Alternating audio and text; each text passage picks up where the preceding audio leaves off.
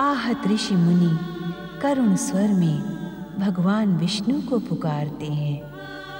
वहीं सच्ची हरि आराधना में लगे मनु शत्रुपा की तप शक्ति के सन्मुख असुर स्वयं आहत होकर भागते हैं। ऋषि मुनियों पर निरंतर अत्याचार की सूचना पाकर सम्राट प्रियव्रत प्रतिज्ञा करते हैं कि वे पृथ्वीलोक पर शांति स्थापित करेंगे। प्रियव्रत के प्रहारों से आहत असुर, जब दैत्य गुरु शुक्राचार्य पर दैत्य शत्रु होने का आरोप लगाते हैं, तब क्रुद्ध शुक्राचार्य उन्हें अपमानित कर पाताल लौटा देते हैं। शुक्राचार्य के आह्वान पर पधारे शनिदेव, दैत्य गुरु को प्रताड़ित कर स्वयं प्रियव्रत को दंडित करने की घोषणा करते हैं। किंतु श्री हरि विष्णु अपने अमोघ अस्त्र के द्वारा शनिदेव को आहत कर प्रेव्रत की जीवन रक्षा करते हैं।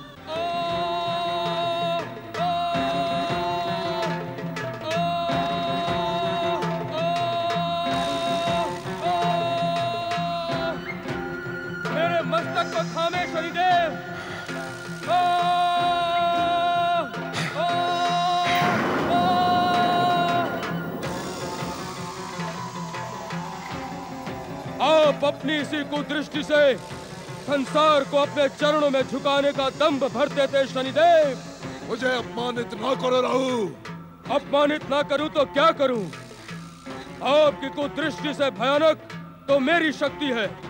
जब मैं सूर्य चंद्र को ग्रस कर उनका तेज खंडित करता हूँ तब किसी विष्णु का साहस मुझे रोकने का नहीं होता। उच्च स्वर में चिल्लाना मुझे भी आता है शनिदेव। दत्त गुरु शुक्राचार्य के पश्चात आपका भी अहंकार ध्वस्त हो गया। अब मैं दत्त शत्रुओं को स्वयं समय आने पर दंडित करूँगा। तुम क्या अपने कटे हुए मस्तक से अस्त्र चलाओगे राहु? जाए अपने पिता सूर्यदेव से जाकर पूछें कि राहु का कटा हुआ मस्तक कहाँ कहाँ से अस्त्र चलाने में सक्षम है। ये कार्य यदि मात्र मैं करता तो पुत्र शनि जगदीश्वर भगवान विष्णु के भक्तों से शत्रुता करके तुम अपने सर्वनाश को निमंत्रण दे रहे हो। मुझे आपके परामर्श की आवश्यकता नहीं है सूर्यदेव। पुत्र शनि मैं तुम्हारा पिता हूँ। तुम्हारा परम हितैषी हूँ। पुत्र तुम राहु जैसे कुटिल प्रवंचक तथा पिता के शत्रुओं को मित्र बनाकर अपनी कीर्ति और यश का नाश कर रहे हो। सावधान सूर्य! यदि तुमने मुझ पर आक्षेप किया तो मैं तुम्हारी कीर्ति और यश का नाश कर दूँगा। तू क्या मेरी कीर्ति और यश का नाश करेगा प्रवंचक? मेरा तेज क्षण मात्र में तुझे भस्म कर सकता है।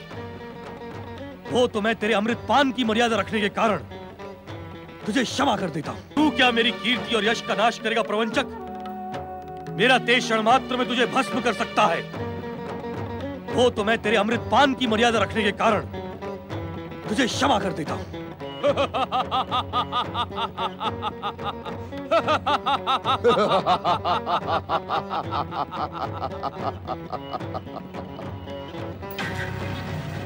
अपने गौरव यश कीर्ति का नाश करने वाले को क्षमा कर देने वाला।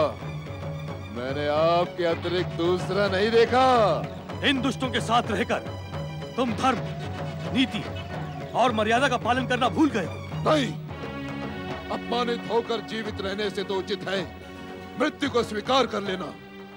जगदीश्वर भगवान विष्णु के अमोघ अस्त्र के सम्मुख आज तुम दोनों का भयानक अपमान हुआ है। सूर्यदेव मैं इस अपमान का प्रतिशोध लेकर ही रहूँगा।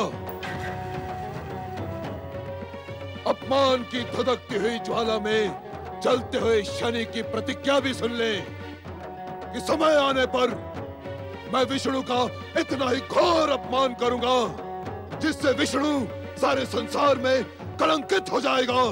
ना, शनि, ना। केवल अहंकारवश ऐसी भयानक प्रतिज्ञा करना। उचित नहीं है। उचित अनुचित की शिक्षा शनि को नहीं देना सूर्यदेव। शनि स्वतंत्र है शक्तिशाली है। तो जो इच्छा हो वो करो। मैं अभागा पिता तुम्हें कल्याण का आशीर्वाद भी नहीं दे सकता। इस समय सूर्य के प्रकट होने के पीछे याद है किसकी प्रेरणा थी? किसकी?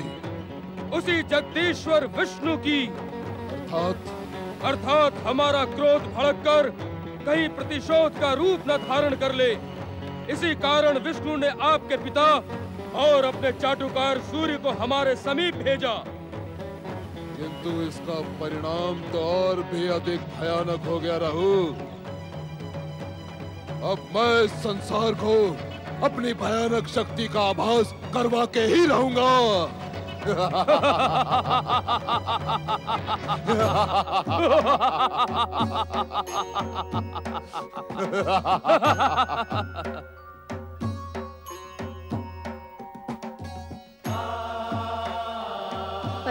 परमेश्वराय नमो नमः। भृगुपुत्र शुक्राचार्य की विनती सुने कैलाशपति भगवान कैलाशपति तथा माता पार्वती की शांत हमारे बिना बुलाए यहाँ आने का प्रयोजन क्या है भृगुपुत्र?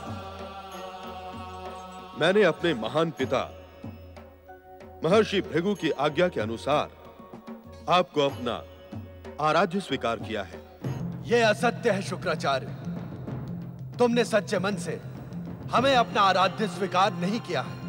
यह आप क्या कह रहे हैं? कैलाशपति?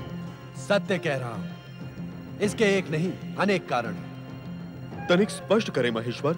सुने शुक्राचार्य सर्वप्रथम कारण तो यह है कि जो भक्त अपनी भक्ति की घोषणा करता है वो सदा हमारी दृष्टि में संदेहस्पद बना रहता है। भक्ति की घोषणा? हाँ शुक्राचार्य अनेक भक्त हमारे चित्रों हमारी मूर्तियों को अपने प्रसादों में स्थापित कर हमारे लघु चित्रों को अपने शरीर में धारण कर भभूत मल कर हमारी परम भक्ति का भ्रम उत्पन्न करते हैं। इस सत्य से तो अब तक मैं भी अपरिचित थी स्वामी। वस्तुतः उनके स्वांग में भक्ति के स्थान पर अहंकार की संतुष्टि ही प्रमुख रहती है। भक्ति और अहंकार तो दो विपरीत तत्व है महेश्वर। अपनी स्वार्थ सिद्धि के लिए अनेक व्यक्ति इन दोनों विपरीत तत्वों का प्रयोग एक साथ करने में भी भयभीत नहीं होते। स्वामी आप सृष्टि के समस्त कारणों के भी कारण हैं। आपकी गूढ़ भाषा तथा संकेतों को समझना असंभव है। तनिक सरलता से अपना कथन स्पष्ट करें। नियंता ने अभी तक किसी ऐसे गूढ़ संकेतों अथवा भाषा का निर्माण ही नहीं किया जो तुम्हारी बुद्धि से परे हो देवी पार्वती। किंतु किसी व्याख्या को आपके श्रीमुख से सुनने का सौभाग्य भला मैं कैसे छोड़ दूँ? हम तुम्हारे स्वभाव से अपरिचित नहीं है देवी पार्वती। तो मेरे पूछने से पूर्व ही मुझे बताएँ कि भक्ति और अहंकार का प्रयोग एक साथ कौन करता है? इसका एक प्रमाण तो दैत्य गुरु शुक्राचार्य के रूप में हमारे सम्मुख ही खड़े भोलेनाथ? इस परम सत्य को सुनकर चकित ना हो दैत्य गुरु। अहंकार संतुष्टि के लिए आप जैसे व्यक्ति भक्ति को ही साधन बना लेते हैं।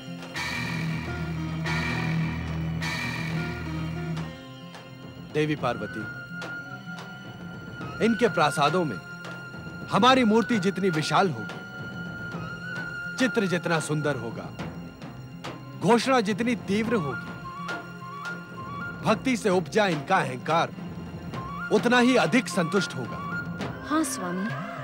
अहंकार को मन की संतुष्टि से अधिक दूसरे की प्रतिक्रिया देखने में आनंद प्राप्त होता है। हाँ देवी पार्वती। जब लोग इनके द्वारा स्थापित मूर्ति चित्र अथवा इनकी भक्ति की प्रशंसा करते हैं तब इनका अहंकार संतुष्ट होता है आनंदित होता है।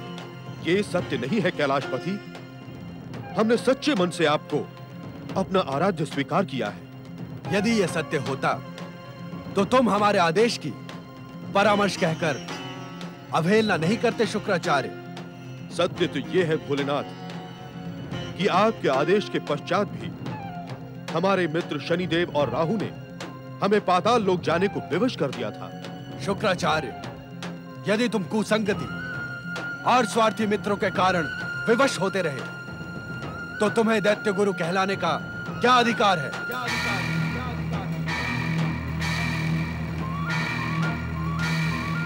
तुम दैत्य के हित का नहीं, सर्वनाश का कार्य कर रहे हो। अब जब तक तुम्हारे मन में हमारी सच्ची भक्ति जागृत न हो तब तक कैलाश आने का कष्ट न करना।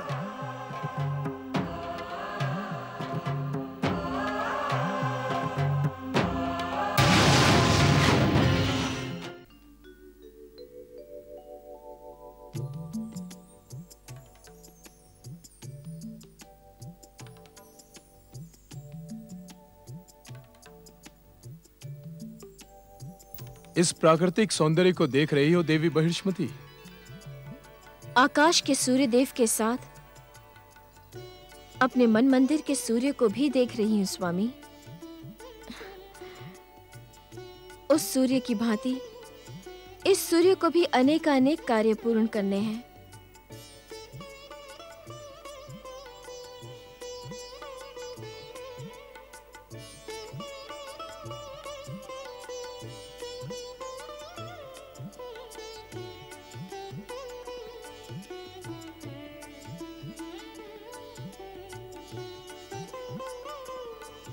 ये क्या? ये अंधकार क्यों? यदि अंधकार न होगा तो रजनी का सौंदर्य कैसे व्यक्त होगा? अंधकार से सौंदर्य का कैसा संबंध? संबंध है स्वामी। यदि अंधकार न होगा तो सौंदर्य भी नहीं होगा। अर्थात? अर्थात सौंदर्य का जन्म ही गहन अंधकार के मध्य होता है। तुम परिहास कर रही हो, देवी।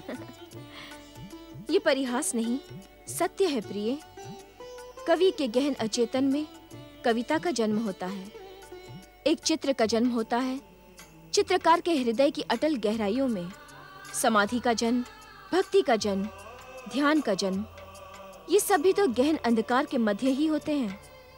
एक बीज फूटता है तो भूमि के भीतर गहन अंधकार के मध्य। तुम तो दार्शनिकों की भाषा बोल रही हो। ऐसी भाषा सुनकर आनंद आ गया।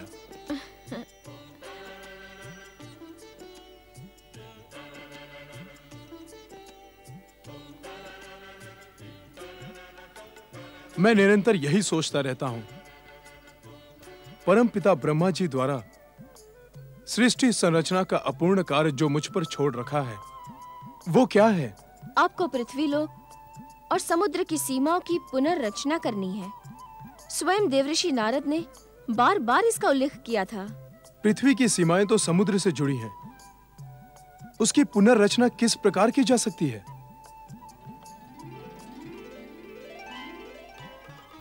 मनुपुत्र प्रिय व्रत बहिर्ष्मति परम पिता प्रणाम।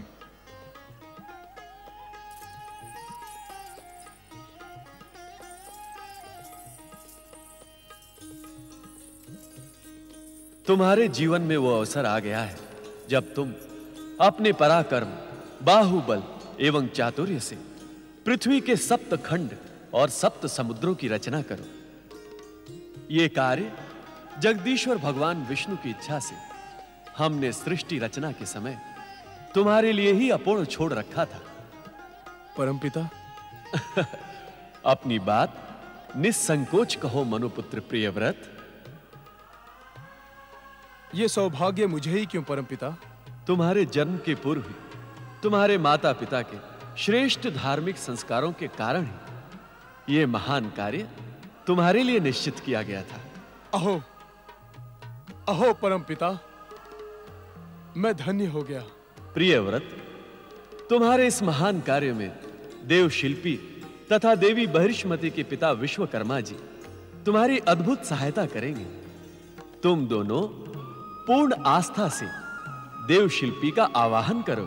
पुनः आपके दर्शन पाकर मैं धन्य हुआ।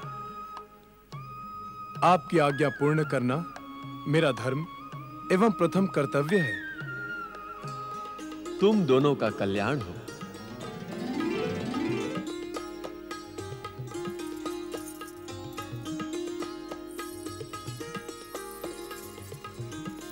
देवशिल्पिन् विश्वकर्मन् देव। दर्शनार्थम् अहम् आवाहयामि। अहम् आवाहयामि। अहम् आवाहयामि। सम्राट प्रियव्रत पुत्री बृहस्पति। प्रणाम पिताश्री। असमय आपको कष्ट देने के लिए हम क्षमा प्रार्थी हैं। असमय नहीं इस अवसर की प्रतीक्षा मैं युगों से कर रहा था। जगदीश और भगवान श्री विष्णु की कृपा से आज वो शुभ मुहूर्त आ ही गया। इन्हें आपके आशीर्वाद और सहयोग की आवश्यकता है पिताश्री। पुत्री बृहस्पति जिस कार्य को सृष्टि के रचनाकार ब्रह्मा जी ने स्वयं पूर्ण करके तुम्हारे स्वामी और हमारे जामाता प्रिय व्रत को श्रय प्रदान किया ये उसके वास्तविक अधिकारी हैं। इस महान कार्य में सहयोग करना हमारे लिए गौरव का विषय है। पुत्र प्रियव्रत। आज्ञा पिताश्री। परम पिता ब्रह्मा जी की आज्ञा से हमने तुम्हारे लिए एक दिव्य आसन एवं एक दिव्य खड़क का निर्माण किया है। दिव्य आसन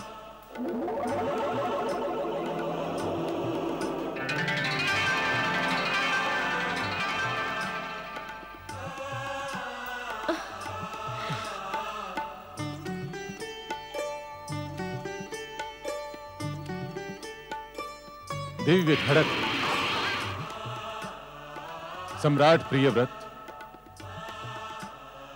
ये दिव्य आसन मैं तुम्हें प्रदान करता हूँ। प्रियव्रत, ये दिव्य खड़क भी ग्रहण करो। लो। और परमपिता ब्रह्मा जी के द्वारा सौंपा हुआ यह कार्य पूर्ण करो।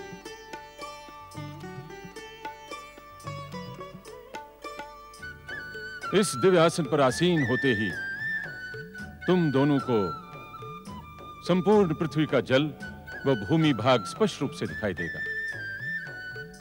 और इस खड़क से निकला हुआ दिव्य प्रकाश तुम्हारी इच्छा अनुसार पृथ्वी माता के खंड खंड कर देगा। अद्भुत। इस कार्य की सफलता के लिए त्रिदेव और समस्त ग्रह नक्षत्रों की कृपा तुम्हारे साथ है। किंतु किंतु क्या पिताश्री?